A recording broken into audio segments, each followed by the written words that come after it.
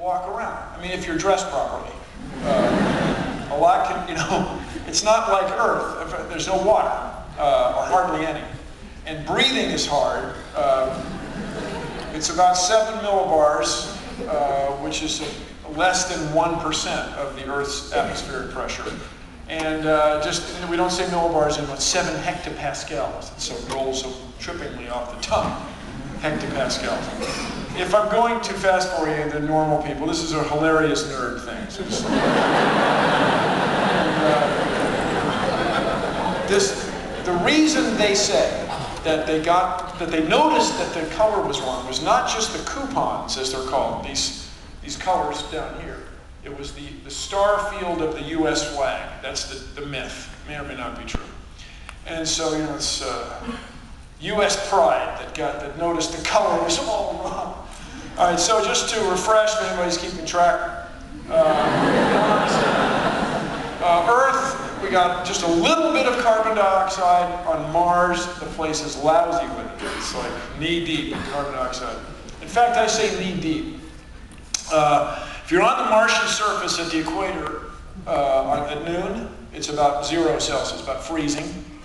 Here, 10 below, here, 30, 40 below Celsius, that quickly.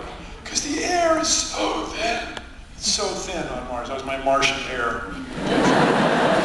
so anyway, you say, Bill, this is all great about Mars. I know, I know. So, uh, unlike many of us, my father spent almost four years in prison camp. 44 months. Uh, they, he was in China for most of the war, and then he, uh, World War II, and then he was in, on the island of Japan. And they, they confiscated all their jewelry, including their watches. They took everything. And so my father and his guys, his buddies, would tell time with sundials. This is my father's thing. And he lived through this, and he came back fascinated with sundials. We spent a long time. We would be in the family car to pull over and take pictures of sundials.